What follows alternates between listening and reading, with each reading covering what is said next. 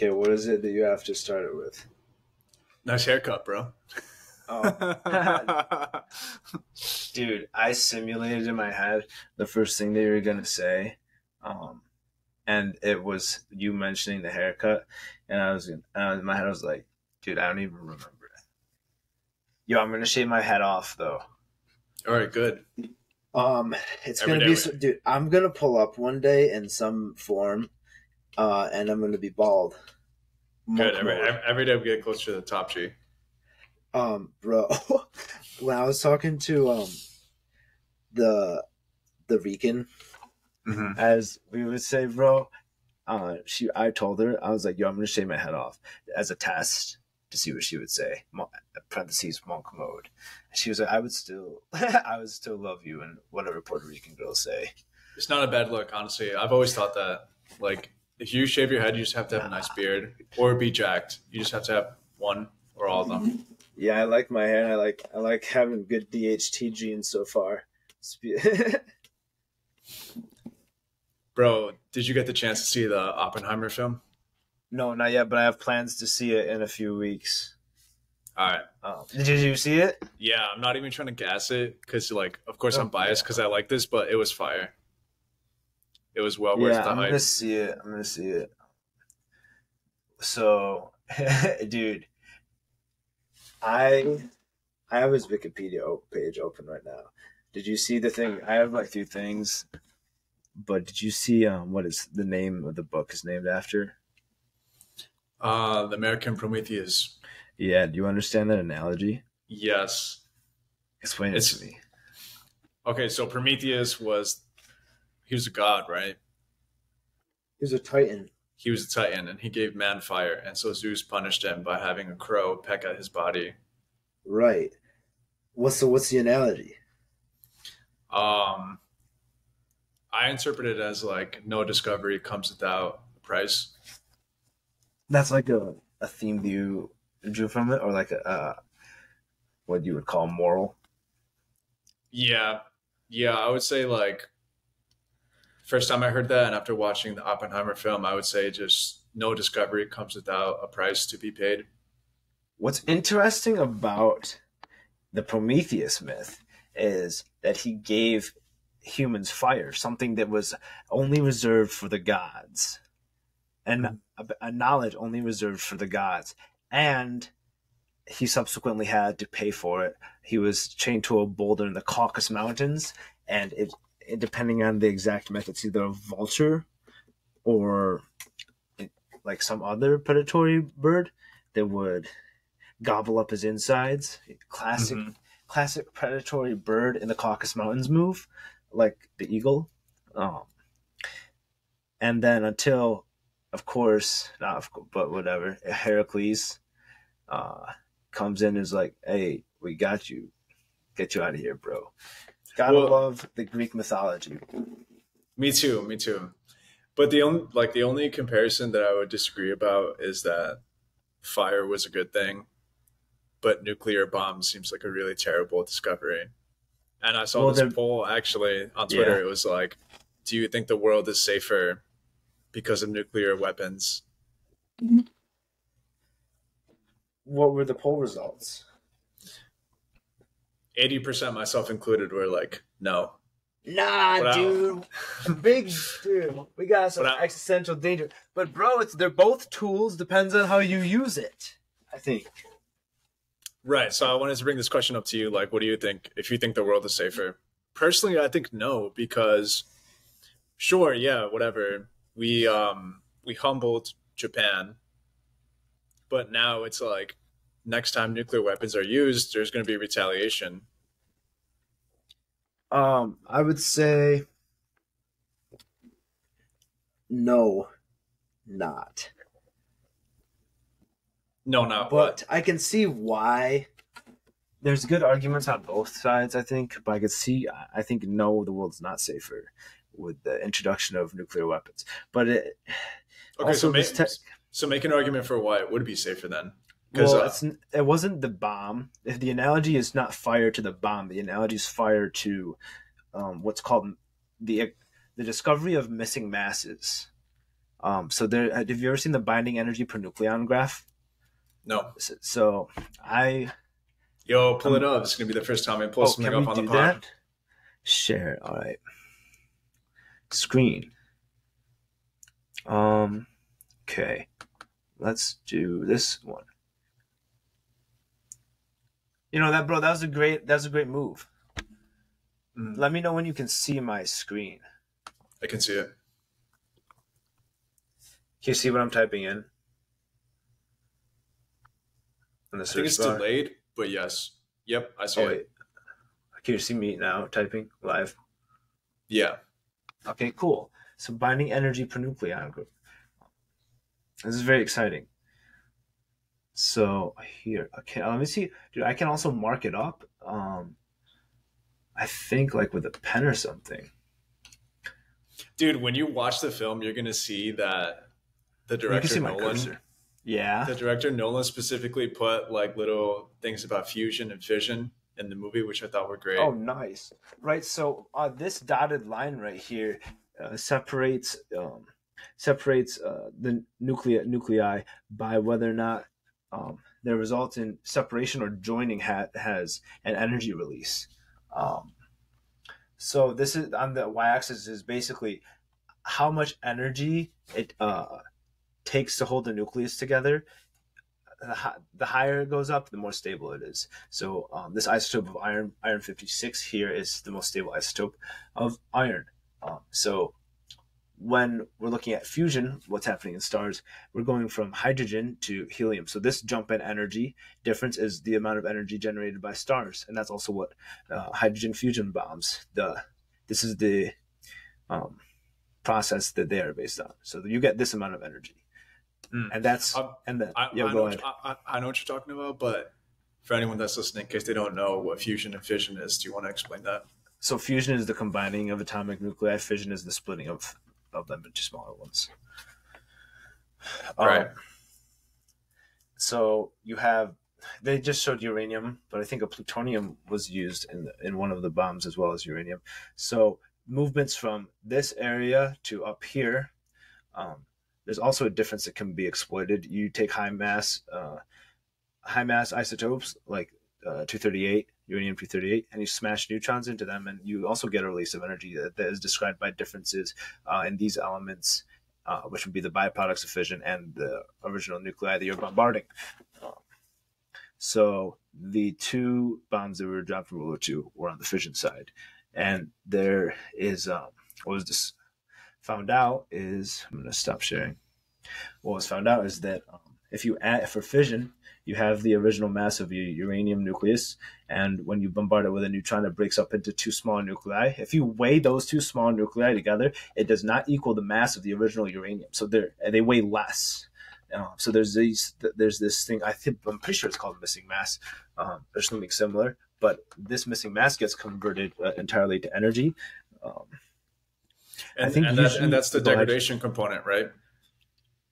Yes that's so that mass turns directly into energy and that energy um, it can be described by einstein's famous uh, energy mass equivalency that everyone knows e equals mc squared so the relationship between the amount of energy pure energy associated with the mass is um, is uh, just multiplied by the speed of light squared which is a Mm. really large number And so and so basically that's why people get sick, right? Like after an atomic bomb because of the um, because of what you're saying. So with uh, I don't know a lot about it, but what I do, what I would say is that um, the so when you get these, when you have these nuclei splitting, you have a lot of neutrons flying around, and like and I think gamma wave radiation that will that are able. So if you're like a, cancers caused by radiation would be because some some nucleon or a high energy electromagnetic wave uh, uh, collides with the DNA of, of certain of certain genes and will uh, damage the hydrogen bonds or the the link the phosphate sugar linkages in the DNA to cause a, to cause a uh, genetic damage. Bro, so there was a couple of things that stood out to me in the movie. Um like I, I hope you get to shit see it really soon, bro. Because Oh like no, I'm going to I- be seeing it in a few weeks. Yeah, because I know you're gonna love it. But one of the things that I was thinking about was in that time period, just the amount of intellectuals that were living at the same time. Because yeah. they show, of course, Oppenheimer, they show Niels Bohr, they show Heisenberg. Heisenberg, Richard Feynman, bro, Edward Teller. yeah, and him and uh, yeah. I didn't know this, but him and Oppenheimer had a lot of beef. Edward Teller. Yes. Yeah, dude. Teller wanted to uh, put all that, put some, put some vibes in with the fusion, the two-stage fusion bomb. Did they talk yes, about with, that in the movie? Yes. With the so what happens in the movie, the way they dramatize it is that Teller wants to make an H bomb. Yeah. And Oppenheimer's like, no. And at first, Teller takes it personally, but then what I what I interpreted from the movie is that the reason Oppenheimer didn't want an H bomb to be created was because then the Russians would have no choice but to up their arsenal as well and create a H bomb as well, which is more yeah. devastating. It happens anyways, bro. It happens anyways. You know? Yeah, right. But then there's like that's like the argument the movie presents, where it's like we're basically in an arms race. Yeah, you know it's interesting because um, let's go back to the fire thing, right? Which we which is we came to tangent from. It's the discovery of that technology um, so this will tie back to what you're talking about is that the analogous fire isn't the bomb. The analogous fire is the discovery of that graph we just showed. Um, so that knowledge, because now we have nuclear reactors that provide energy to uh, to residentials, you know. So mm-hmm. same technology, and maybe we could someday create find the engineering uh, power to and ingenuity to create a fusion reactor. Same thing. Well, there's it's a double edged sword, you know. And, that is true. Uh, that is that is that is the positive of it. Um, so there's that, but of course, with the fire, you could anal- and and uh, use an analogy that like you could use the fire to to light like a piece of stick and smack a smack a lad with it, or um, or you could use it to like cook him up after you smack him. You know? mm. yeah. Well, so what you're saying puts into context a scene in the film because Oppenheimer goes to talk to Einstein right? Because when they were doing the calculations for the bomb, there were there was a concern that the atmosphere would be set on fire. And then when they do the math, they're like the chances are near zero. You know, and I wonder how they what they were looking at for that. Yeah, right. Like there was a concern that they Sorry, were going to set the. You're good. There's a concern that we're going to set the the atmosphere on fire, right? And then the calculations came out to near zero. Everybody was worried about that, but then at the end, they replay the same scene, and Oppenheimer goes to talk to Einstein, and Oppenheimer Oppenheimer tells Einstein like the bomb worked, but like in a way we did set the world on fire because of how you're saying with the fire and Prometheus, like this is gonna set off a new era, basically. Yeah, um, I was talking to people today, um, and I was like, I'm glad this is getting a lot of attention in general population because this is the biggest um, project in physics out of the 20th century for sure. Yeah, I know. I know. I was thinking about that as well. It's mm-hmm. like, like I, I don't know. I don't know how to say this, but like, it's crazy that this happened. You know, like they they set off the two bombs in Japan, and the fact that it's never happened again, and we're just living, yeah. and it's and like, but it could happen we might come to see a day where it's been hundred years since the last nuclear weapon was dropped on a on a population. No. Yeah, yeah. That that really got to me after the film. I was like, wow, like this really happened, and, every, and, it has every, happened since. It gets farther away. Uh, the date that it happened, it seems like wow, that's that's crazy. But um, let's go back. So the the name of the original book, the American Prometheus. Are you aware? So the punishment of Prometheus that we talked about. Um, the analogy continues to the fact that, um, as we mentioned this in a previous episode, um, post World War II McCarthy era communism persecution. He was a victim of that. So it's interesting yes. too that then it got turned around on him. The gods punished him, and now the American government ended up uh, smoking his beans. You know, yep. after. So the film, the film portrays the that beautifully. Talked about that, right? Yeah, the film portrays that beautifully because um, you would think the movie's about the building of the bomb, which part of it is, but also yeah, that's like, what I initially thought. The film is also about what happened after, and so after he was persecuted a lot because of his communist ties. And I don't know, I mean, how how historically accurate this movie is, but in the film they show that um, basically like he had sympathies sympathy like uh sympathetic feelings towards the communist movement but he wasn't an actual communist you know yeah, that's and true. like if you if you look on the histor if you look on the historical members on the Wikipedia page for CPUSA, he's not on there. You know. Yeah. Um, but his his second wife is on there. yes and so that's what they show they show that he um he was romantically involved with a lot of communist Commies, females bro. yeah Yeah, dude. And And, you get and so, so then- funny. dude. so then after he sets off the bomb he you know becomes the father of the atomic bomb or whatever Yeah. and he uses that clout to basically try to control policy Uh-huh. you know and that's basically why they pushed him out that's why they had to come um, after him so hard Yeah, dude, and it's uh, what do you so going along with that? What do you think about this? Two main reasons why the bomb was dropped. One was to uh, win in the Pacific Theater, and then the second one uh, would be well, the war is coming to a close, anyways. At the end of at the end of this war, there's going to be uh, Russia and America on top, and anticipating the next few decades, uh, potentially seeing some uh, geopolitical competition show a flex to them in the form of of this bomb.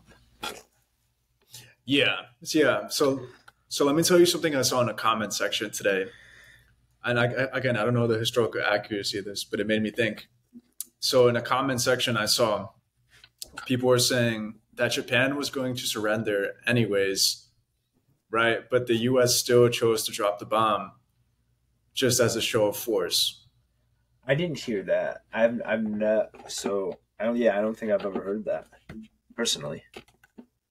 yeah I've always been taught it was a gamble that they might not even surrender after the fact.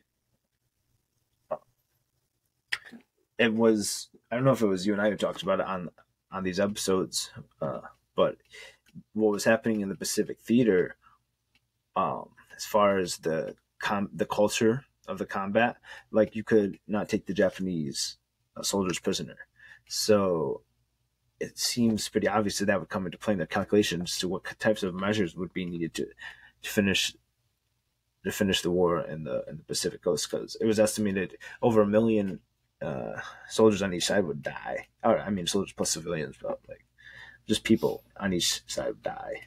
Yeah, and so I learned exactly what you learned that the Japanese were just were very prideful people and they were never going to surrender. And just I mean, I of course whoever's in war has it terrible, but based on what I know about the Pacific and European theaters, I would much rather have been in the European theater because the Pacific theater was very extreme because the Japanese took prisoners and they tortured them and they're very prideful and they like there's even a story of a Japanese Nah, soldier you, that was gonna Ja- you ain't taking the Japanese prisoner, bro. They'll- They'll be like they're on some samurai waves, bro. Yeah, no, that's what I'm saying. Like the Japanese took American prisoners and they tortured them. And um, even after the war, I've heard a story of like there's a soldier that never surrendered. The wait when he was um captured by the Japanese. Who? Is that the, is that who we talk about? This guy, um, or we talk about on the Japanese side?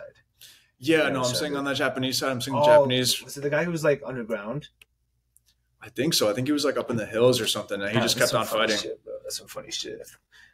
But yeah, so I knew, I knew just based on historical background that the Japanese were just very vicious and very prideful, and it's at least the way I learned it is that they weren't going to surrender. So I understand the argument as to why they dropped it, but then uh, just you know reading other historical pieces, I've seen that like very often this happens. It's like it's a common theme in history where large wars happen and then there's a sustained a sustained peace for like 70 to 100 years you know but this And time it's different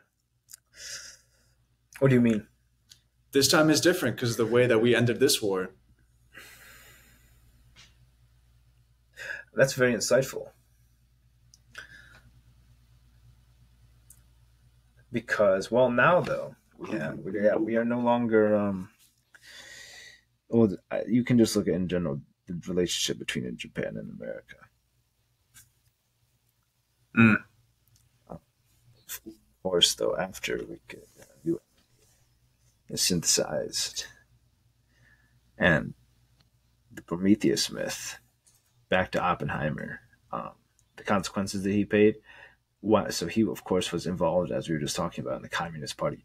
And you, I don't know if it talks about this in the film, but there's a lot of the vast majority of intellectuals at the time across academic subject matter uh, were involved in communism. And as we, I think we talked about this in an earlier episode, this phenomenon is what Jordan Peterson cites as to why the universe, the modern universities are existing in this po, um, postmodernist, uh, Marxist, like ideological inception into the Mm. or in, into universities. But um, yeah, I don't know. Did the film talk about a lot of these people who were extremely intelligent and intelli- Yes. intellectual fields? Yeah, and so they do portray that. There's a lot like throughout the film.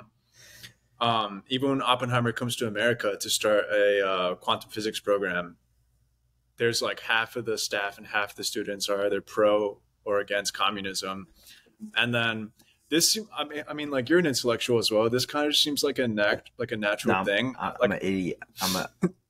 I still wear diapers, bro. I'm still on the I'm still on the diaper, and I've only been eating soup for the past ten years. But anyways, Mm.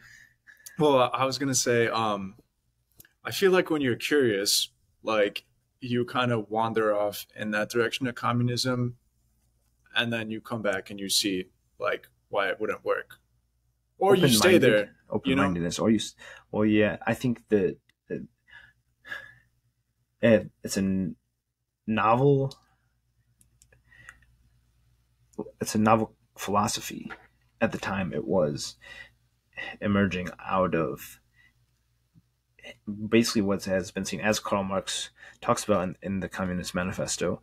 Um, the class struggle has been going on for basically the history of mankind he identifies like. And then, of course, uh, the Industrial Revolution magnifies that trillions, you know. Mhm. You start getting production and manufacturing.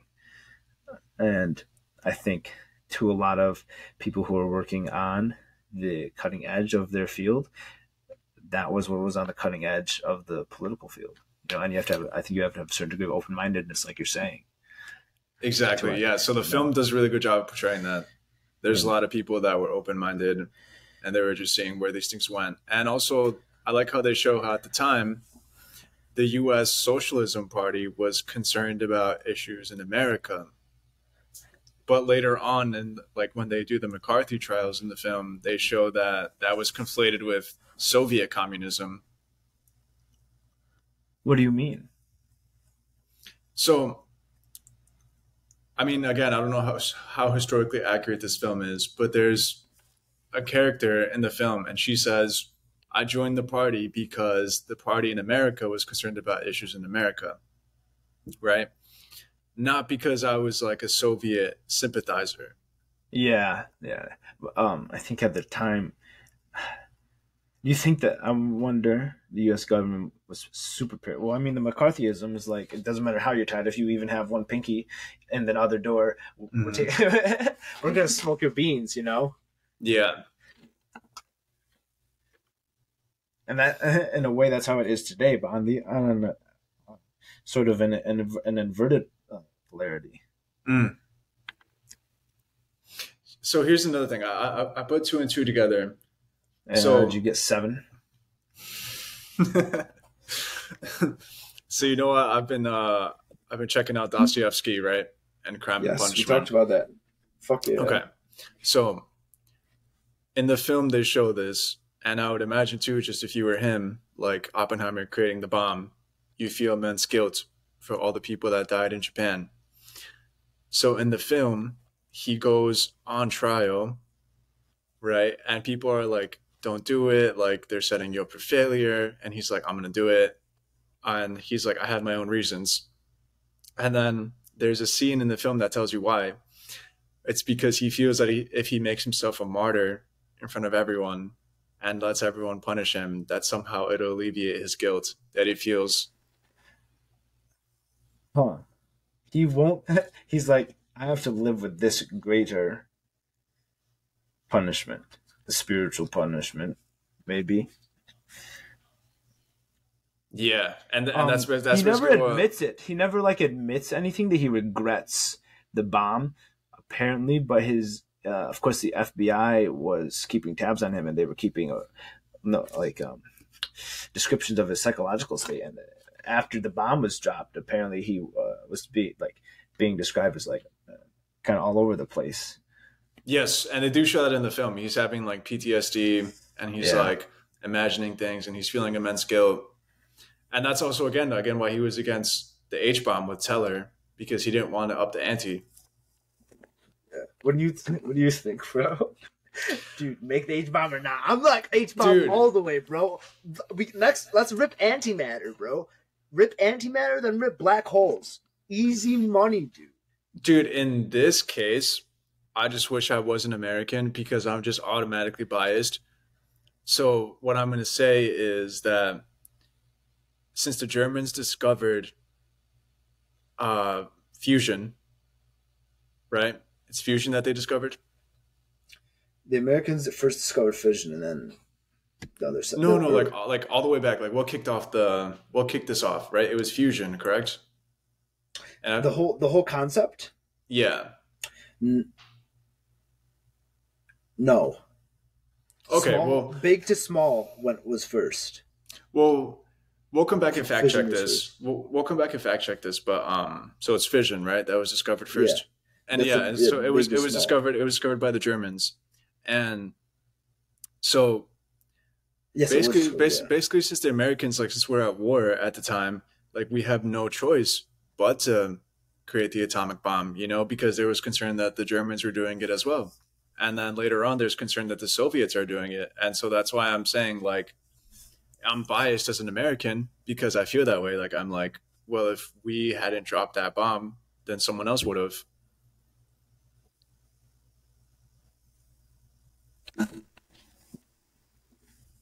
But that's that's a very post hoc argument, you know. Like that's what I'm saying. It's not a strong foundational argument. And uh well it's a really hard frame because you and I both growing up in the American education system the history context all we know is the US his is the US point of view from US education. And that's a hard and that was like a decade and a half of that um you know of learning those in history uh, in history classes. Um, that early on and for that long it's like you can't it's, it's hard to conceptualize escaping that frame that america was the good guys essentially you know Hmm. and i mean all evidence that ha- was delivered to me by my teachers and professors is keeps that in the light that america was like the good guys and good thing that they um, developed it first because if russia or uh, in the cold war context developed had developed it first and then dropped it um, on Japan and uh, like we didn't know about it. I'm like, dang man, Mm. they got they got the power. They got some power over there in Siberia. Right, right, and so and so that's why we're biased, and You they talk about that in the film as well because, um, before they te- they before they even set off the first test, Germany surrendered. nachos, bro. Oh, dude, and they're like, "Yo, it's about to be easy mode. We only gotta take out the Japs, bro." Yeah. So the scientists kind of start to question and be like, why are we still doing this? Germany surrendered. And then Oppenheimer comes in and he's like, the same argument we just made. If it's not us, then who? bro. And that, of course, politicians be like, "Yo, that doesn't matter. We still gotta get in on this money, bro. We gotta be developing this stuff because we're gonna. We just gotta. We gotta beat everyone, bro. The product of evolution. Exactly. And so it's like, Tech goes to war. be, like being American now is just basically like being the child, being a spoiled child of rich parents, you know, because World War II was like one of the most terrible, greatest endeavors ever faced by humanity, right? And U.S. Uh, like America came out on top, and we're all living in that post golden age happiness, and we're just spoiled. We're starting to come out of it a little bit in in an interesting way too. Yeah, Um, you know that's a conversation for another podcast for sure. But um, so last thing I had uh, written down today that I want to talk about was the uh, Rapid, uh, Oppenheimer's Julius Robert Oppenheimer's um, psychological states. He had, I found three uh, interesting episodes. I think they talk about one of them in the, or they just they show one of them in the film with the where he poisons his tutor's apple. Yeah. So that's I- what I'm, that's what that's what I'm telling you. about- That apple portrays what Crime and Punishment by Dostoevsky talks about in his book, where it's like humans do bad things and then they feel bad about them immediately and then they want to be punished. So what is the? How does that analogy carry to the apple? And Okay, so he was so he was being ostracized by his professor, yeah. and so he gets fed up and he poisons the apple, and then he leaves and on like on vacation or whatever, he's with his mates and he comes to his senses and he's like, "What did I just What did I just do?" Man, I just poisoned homie's apple. Yeah, Bro's so he- like, bro's sipping a Marg, Marg on vacation. Dude's got two Brazilians by his side. Dude thinking about Adams, And he goes, dang, man, I shouldn't have done that one. yeah, exactly. Tell me that hasn't happened to you. Oh, for sure, dog. For sure. Yeah, and so he rushes back and like gets the apple, but it's like, and then he you eats it himself. Is like, ha! I will hurt me. no, no, no. Like, you, like, of course, a film can't portray it, but like, you know, as humans, we all know we do things we regret and we want to be punished for them, and like, they don't show the punishment in the film, but I know through looking at his biography that he just was tortured by that, that he poisoned that apple, and he was honestly very lucky that he even got to stay in university. Yeah, right. So the other two uh, events, did they show him strangling his friend? When when uh, he gets married, right? Yeah. No, they There's don't, that but I knew about that. Yeah, You knew about that? yeah. I thi- I thi- Oscar. Dude, I did my research, bro. We're trying to be journalists. Yo! Fist bump. Let's go. That's what I'm talking about, G. What did you do? That one, and then did you know about the train? Which The with the girl? I girl. might not know about the train. Tell me about the train. he saw this couple um they were they were exchanging oral pleasures and the guy left to like go get some like some some K or something, some cigs, and um he just hops on the girl and starts making out with her and it's like nah, out of here. What what are you doing, man? then he just cries. I didn't know about that, but that's You insane. know- It- Bro, right? That's both of those stories, the strangling of homie and train girl are wild, bro. dude, even just the apple is insane. when I heard about apple, I was like, what? Because I almost zoned out when I was like um listening to this um it's like biographical description of him and um I was like, are they still talking about Oppenheimer? He poisoned the apple for his tutor. Yeah. So here's the interesting thing. uh, Thing I was thinking about this. Anybody that's ever remembered in history, and that's important, is a very complicated figure. I had the same exact thought when I when I heard about all all that uh all that stuff. Um it it seems pretty frequently um that great thinkers in general and those who have a, a large body of accomplishments are like idiosyncratic in a lot of parts of their personalities and their behaviors. Yeah, that's why there's like that thing, right? That like genius is madness. Right. Yeah. Um, I've heard similar uh, anal- analogous statements for sure. You know, and that is kind of ties to what we were just talking about with the communism thing. You know, uh, Mhm. I think is in general uh, the five personality traits the the most common one amongst um, the great intellectuals, great thinkers of of history is that they were extremely high in openness. Mm-hmm. Yeah, so that's a, yeah, exactly how you're saying. Like, I feel like I feel like all intellectuals flirt with communism, but I, I think the I thing think that they you should you gotta uh, for like I mean open mi- you should consider all. Yeah, is my opinion. My- and also you just have to put in a caveat that it's just like actual communism has never been implemented. But of course, you and I has have had this discussion why it may or may not be possible. Yes. Um, so of course it has not been, thanks to, in my opinion, thanks to the fact that Stalin had uh, had Trotsky taken out with a pick at over the the ice pick in South America, bro.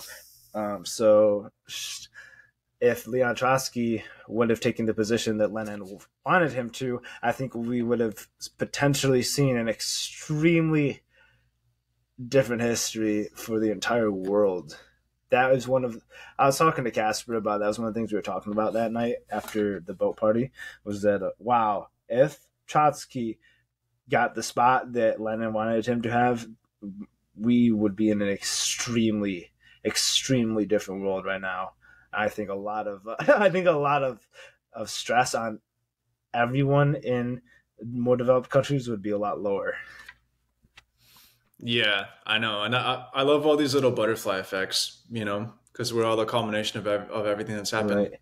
And um, yeah, communism's never the the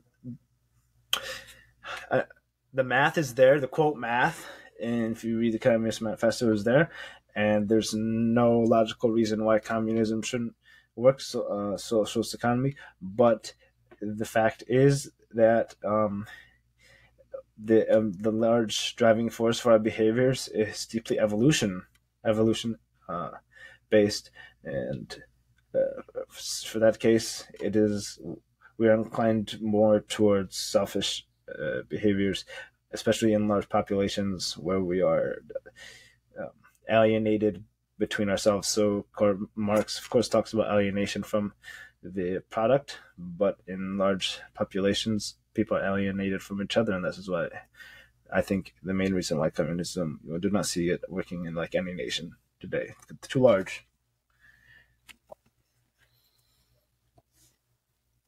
Right. Yeah, and because on paper it sounds very good, and I think that is why a lot of the uh, the intellectual community in the 40s, 50s, 60s, it was very popular because it's like, oh, on paper this theory looks very good, but we don't see great results. Um, you know, it, it is like Russia. A bunch of people were about to were about to die and um, France, third estate. Uh, that one ended up uh, with some people. Hold on, brother. On my end, you're cutting off. up really badly. Let me fact check myself. What's up? Hold on, brother. On my end, you lagged really badly. Now I can't see you, but I can hear you. Oh, really? I think we'll be good though because you, yours has lagged too, but I think it works out okay. Yeah. So what were you saying? Is was it last good now? about the, the the implementation versus um, you know theory versus implementation because you know they do bring that up in the film like that comes up between um between Oppie and his friends where it's just like Oppie's a really good theorist but like can your theories be put into implementation in the physics realm you know? But I feel like this happens in across all in the physical world right? Yeah. Um, yeah. The um so no that was the last part that i wanted to talk about was the psychological state. Him with those two girls um the girl situations and then the apple guy